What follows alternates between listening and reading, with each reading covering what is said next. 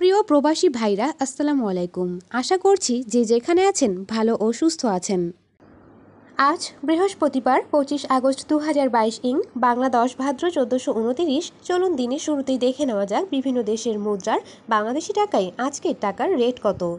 প্রবাস থেকে সঠিক রেটে দেশে টাকা পাঠাতে সবসময় টাকার প্রকৃত বিনিময় মূল্য জেনেই টাকা পাঠাবেন। এখানে বৈদেশিক মুদ্রা বাংলাদেশি টাকায় পরিবর্তন করা হলে বাংলাদেশি টাকায় যে মূল্য পাওয়া যাবে তা উল্লেখ করা হলো। অপরদিকে আপনি যদি বাংলাদেশি টাকায় বৈদেশিক মুদ্রা ক্রয় করতে চান, তবে তার মূল্য ভিন্ন হবে।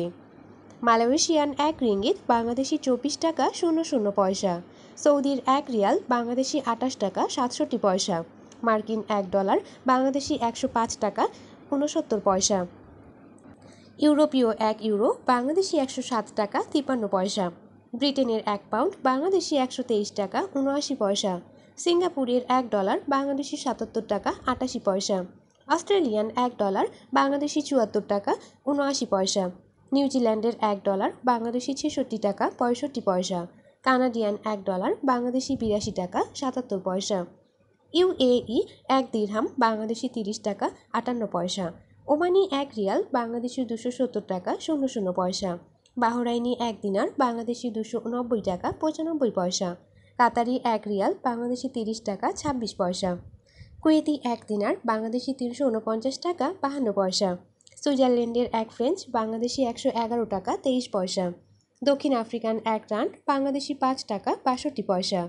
জাপানি এক ইয়েন, বাংলাদেশি শূন্য টাকা, সাত নয় শূন্য পয়সা। দক্ষিণ কোরিয়ান এক ওন, বাংলাদেশি শূন্য টাকা, শূন্য সাত এক পয়সা। ইন্ডিয়ান এক রুপি, বাংলাদেশি এক টাকা, পঁয়ত্রিশ পয়সা।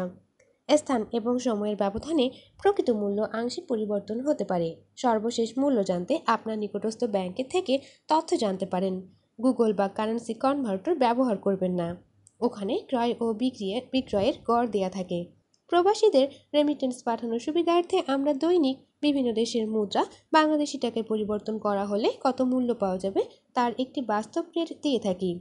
আপনার কষ্টার্জিত অর্থ নিরাপদে দেশে পাঠাতে ব্যাংক মাধ্যমে পাঠান। হুন্ডির মতো অবৈধ পন্থা এড়িয়ে চলুন।